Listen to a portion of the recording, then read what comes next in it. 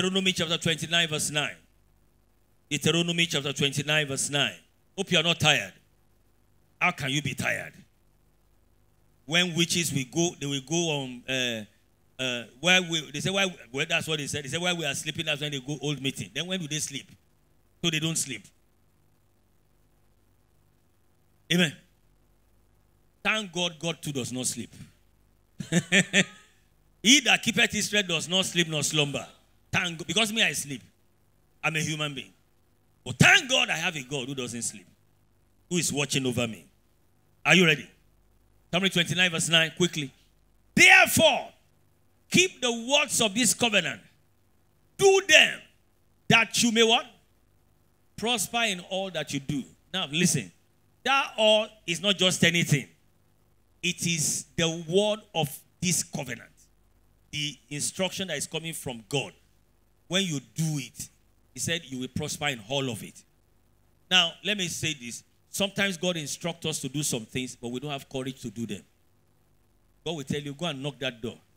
The fear of the door not opening, you will not even obey God. How many of us were in inspiring change? If you listen to Ellen Paul's testimony, one of the things I saw in her is that she's courageous. She's ready to do whatever God tells her to do, no matter what. Huh? So you need to get to that point if you are ready, if you really want God to bless you, where you are ready to do whatever God tells you to do. John 2 5 says, Whatever He tells you to do, do it. Me say, I'll do it. Are you ready? Are you set? Please say this prayer after me. Say it loudly. Say, Holy Spirit, raise up, rise up in me the courage and confidence to do what you tell me when you tell me to do it. You need courage to do whatever God tells you to do whenever He tells you to do it. Why we are not seeing enough of God's Son is that we don't do what God tells us to do when He tells us to do it. We are afraid. He said, Fill this water pot with water. It takes courage, it takes guts. So you're going to say, Holy Spirit, rise in, raise in me courage and confidence to do whatever God tells me to do. Whenever He tells me to do it, turn it to prayer quickly.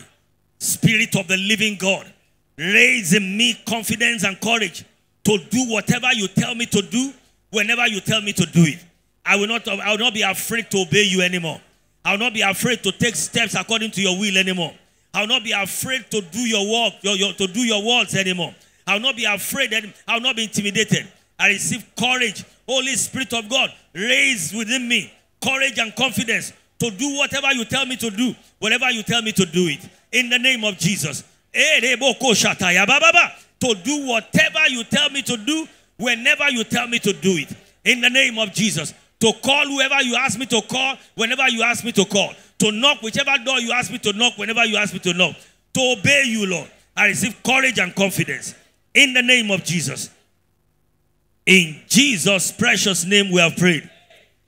Isaiah 45, verse 1 to 3. Isaiah 45, verse 1 to 3. Thus saith the Lord to his anointed, to Cyrus, whose right hand I have held, to subdue nation before him.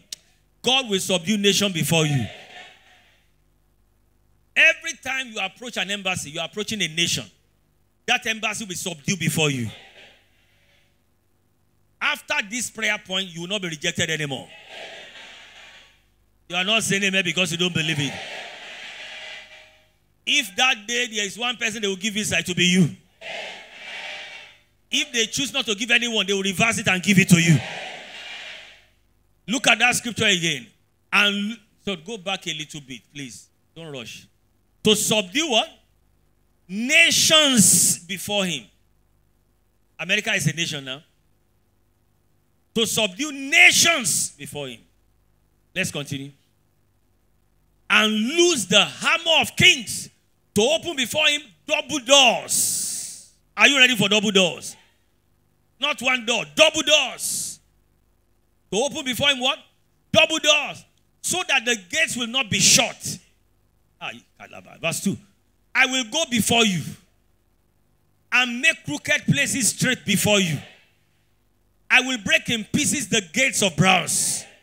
Let's continue. And cut the bars of iron. I will give you the treasures of darkness uh, and hidden riches of secret places. After this prayer meeting, what God will begin to give you are hidden riches of secret places, treasures of darkness. I said, treasures of darkness. Those ones have been kept in ancient of days, for in ancient. I said, God will deliver it into your hands. Stretch your two hands up with the communion in your hand. Let's go back to that scripture. Isaiah 45, verse 1 to 3. Stretch your two hands up with your communion in your hand. Are you ready? Say, Lord, open before me double doors of unlimited opportunities that cannot be shut by men and go before me to level the mountains, fill the valleys, and straighten the crooked paths. Say it again, Lord, open before me double doors of unlimited opportunities that cannot be shut by men and go before me to level the mountains, fill the valleys, and straighten the crooked ways. Turn it to prayer quickly. Father, go before me. Open before me. Double doors of unlimited opportunities. Double doors of favor and blessings. Go before me to remove all the mountains. Fill all the valleys. Make all the crooked ways straight. In the name of Jesus. Open your mouth and pray. Lord, open before me double doors of blessings, double doors of favor, double doors of promotion, double doors of increase, double doors of lifting, and go before me, Lord. Re- lower all the mountains, lift up all the valleys, fill up all the valleys, make all the crooked ways straight. I decree it, and so shall it be. In the name of Jesus. In Jesus' precious name we pray. Psalm 51, verse 10. Psalm 51, verse 10, the 27th prayer point. Psalm 51, verse 10. Create in me a clean spirit, a clean heart. One says a clean spirit. O God, and renew a steadfast spirit within me. What a powerful prayer. Create in me a new heart. O God and renew right spirit within me. Once again, create in me. Create in me a new heart, oh God, and renew right spirit within me. Cast me not away. Cast me not away from your presence. So Lord,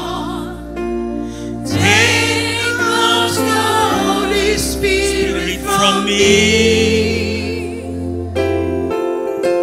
Restore unto me the joy of my salvation. And renew right spirit. And renew right spirit within me. Thank you. That's one of the most powerful prayer David prayed. He was simply telling God, I don't want to have anything in my heart that will keep you far from me. I need your presence in my life. Say this prayer after me. Say it loudly. Today, mark the beginning of my bouncing back.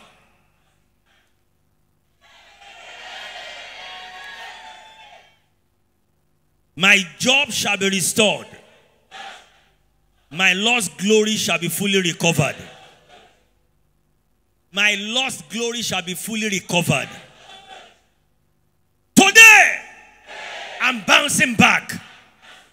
My joy will be restored. My joy will be restored. And my lost glory will be fully recovered. Turn it to prayer quickly. Today, I bounce back. My joy restored. In the name of Jesus. Everything I've lost restored. My lost glory restored. In the name of Jesus. My new creation reality restored. In the name of Jesus.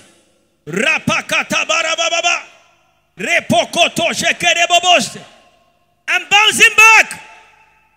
In the name of Jesus. Let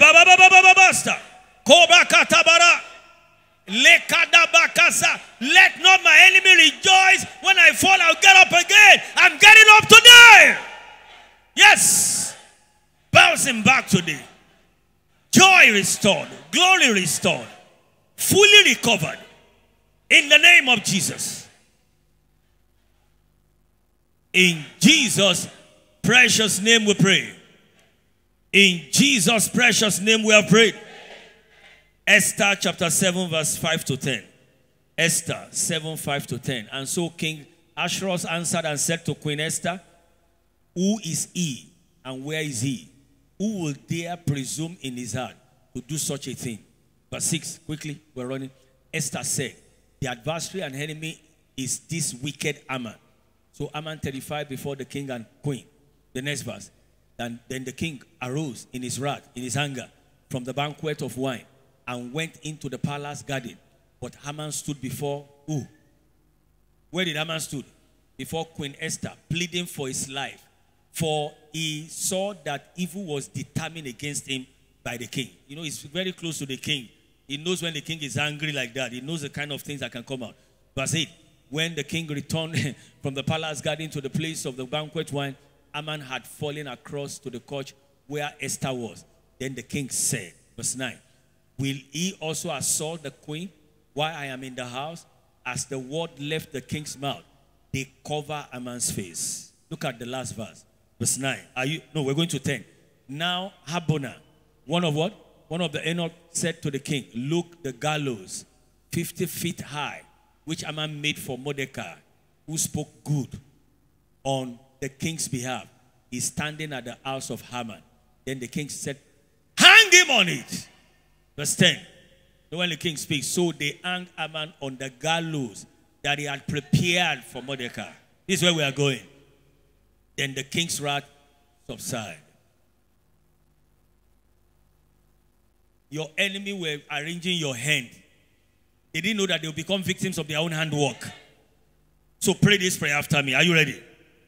Say, Lord, expose every evil agent, evil agendas, and destroy them in the name of Jesus. Turn it to prayer quickly. Expose every evil agent and agenda and destroy them. Like you did for Haman.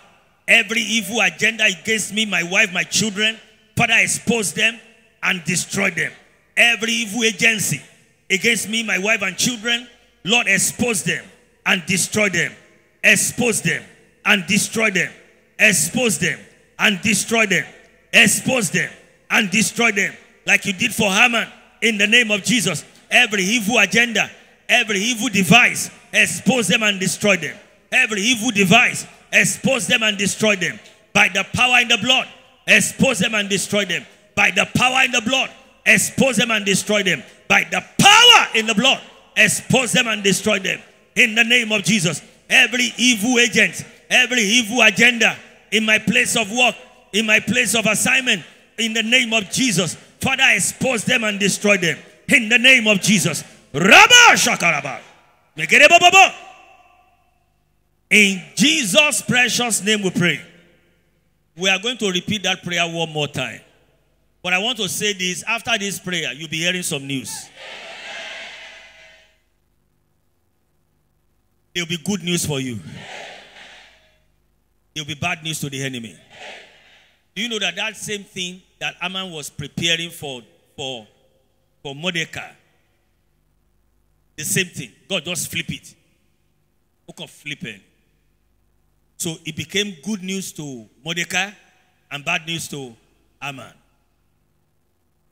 So that you know how to pray this prayer. When you say destroy those agendas, you are saying that, Lord, flip it, reverse it. Let it be for my good. Say after me, Lord, expose every evil agent and evil agenda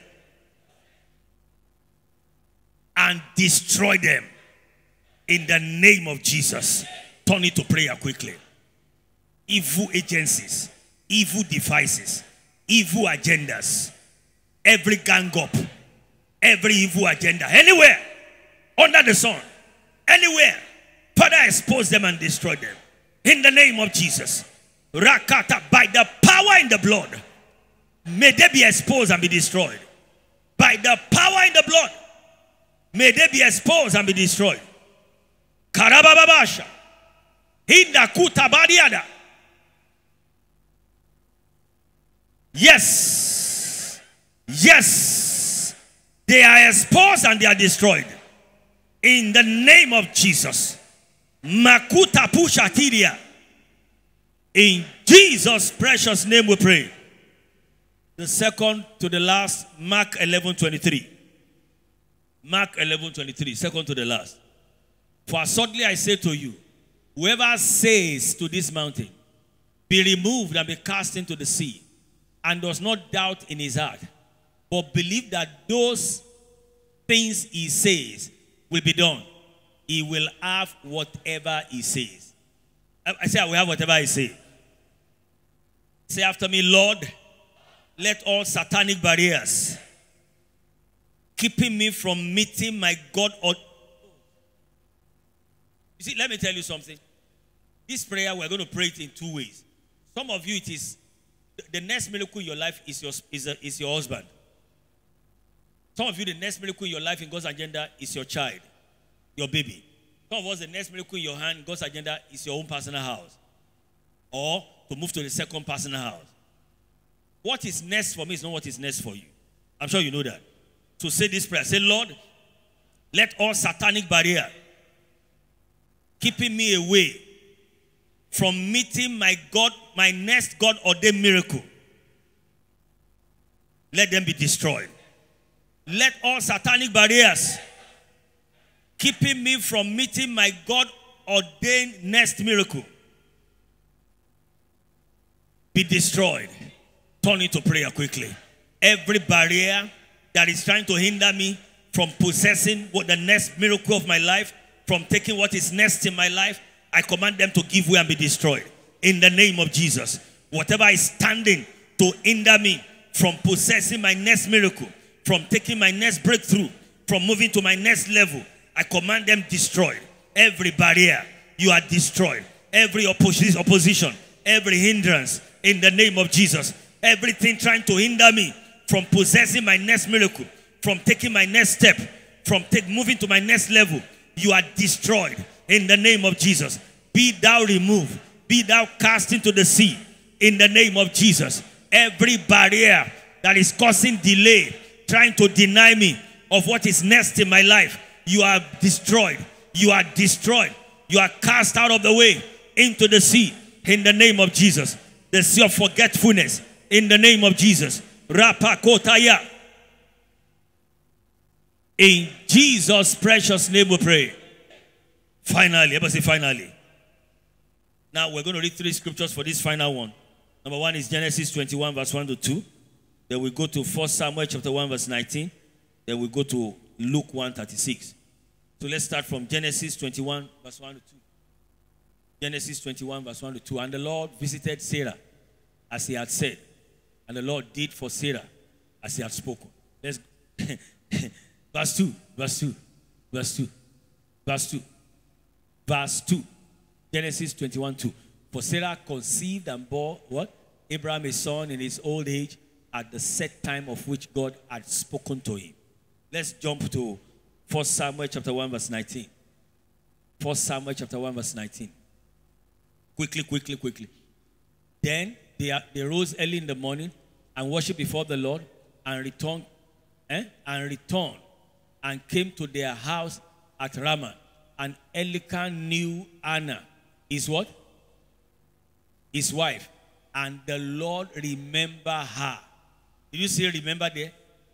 Did you remember uh, the other uh, uh, Sarah too? You see the Lord. Let's go to Luke 136. Luke 136. Luke 136. Quickly, quickly, quickly. Luke 136. Now indeed, Elizabeth, Elizabeth, your relative, has also conceived a son in her old age. And this is now the sixth month for her who was called barren. Say, Lord, open my book of remembrance as you did for Sarah, Anna, and Elizabeth. Say, Lord, open my book of remembrance as you did for Sarah, Anna, and Elizabeth. Now, now, a book of remembrance for some of us that may not be a baby, and it may be a baby, but it's something. It's one area of your life where you think you have been forgotten. Can we say it again? Lord, open my book of remembrance as you did for Sarah, Anna, and Elizabeth. Turn it to prayer quickly. Rabba Kata. Lord, open my book of remembrance as you did for Sarah, Anna, and Elizabeth. You've done it before, you can do it again. You are not a respecter of person. The same way you remember Hannah, the same way you remember Elizabeth, the same way you remember Sarah. Lord, remember me. Every area of my life where it seems I've been forgotten, I command that my book of remembrance be open. Let my book of remembrance be open in the name of Jesus. Ratabako shata. Wherever it seems like I have been forgotten, let my book of remembrance be open in the name of Jesus. By the power in the blood, by the power in the blood, by the power in the blood. Open your mouth this is the final one. Let my book of remembrance be open. Let my book of remembrance be open. In the name of Jesus. In Jesus' precious name we pray. Oh, stretch your communion up, lift up your communion, all eyes closed, all legs bow. Wherever it seems like you have been forgotten, today, 30th of April, 2023, your book of remembrance is open. The day the book of remembrance of Mordecai was open, God did that miracle we read in Esther. Today marks the day that your own book of remembrance is open. Every area of your life where it seems that you have, it looks like you have been forsaken, it looks like you have been forgotten, your book of remembrance is open today. Your book of remembrance is open today.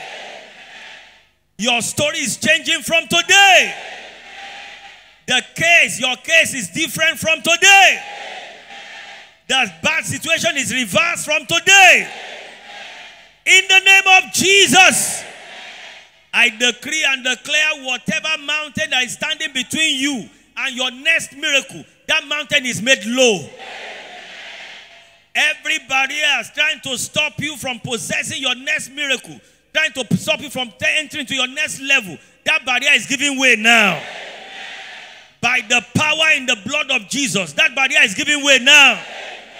By the power in the blood, that barrier is giving way now. I declare a new dawn in your life.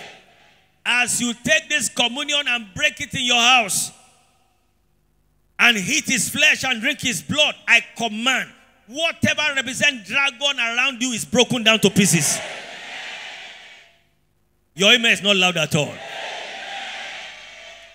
Your amen is not loud at all. That amen is not loud at all. Whatever represent dragon around you, visible or invisible, as you take this communion and break it in your house or in your place of residence or your place of assignment, I command the dragon broken to pieces.